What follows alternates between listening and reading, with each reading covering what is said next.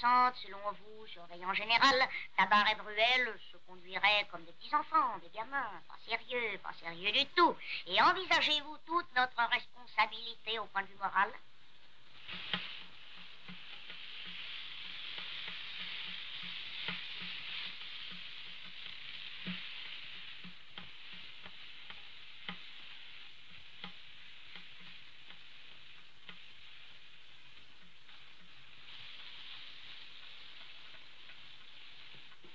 Monsieur Huguet rentre seul. Et la promenade.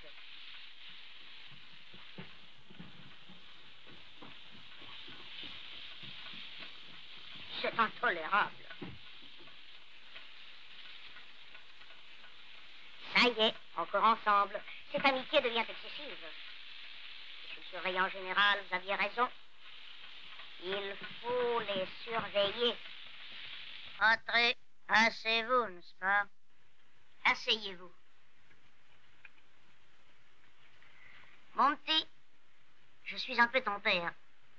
À ton âge, il est des choses, n'est-ce pas, qui... Enfin, Bruel est plus âgé que toi.